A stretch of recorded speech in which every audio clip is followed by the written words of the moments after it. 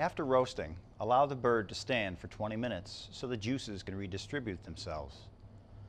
Holding the bird firmly with a carving fork, pry a leg outward and locate the joint. Remove the leg and thigh in one piece by cutting through the joint with the tip of the knife.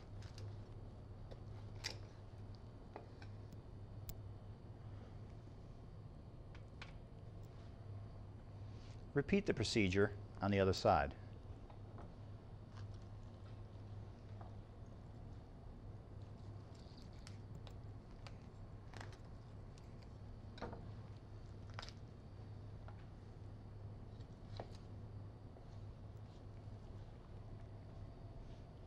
Once both legs have been removed, slice the meat from the thigh by holding the leg firmly with one hand and slicing parallel to the bone.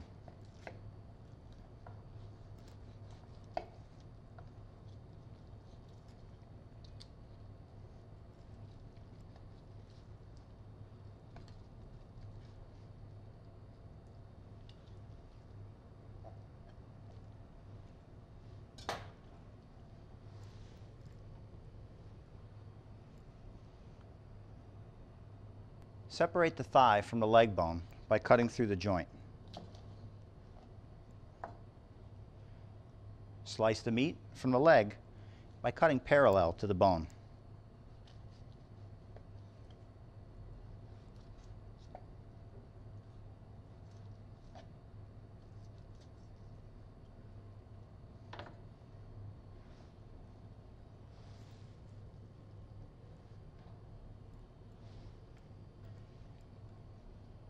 To carve the breast meat, cut along the backbone, following the natural curvature of the bones, separating the breast meat from the ribs.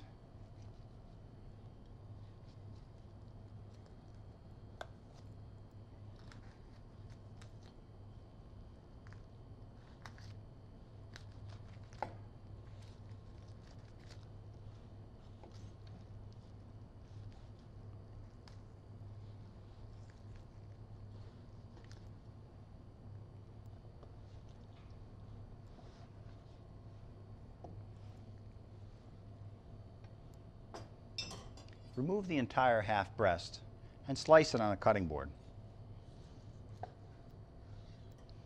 Cut at an angle to produce larger slices.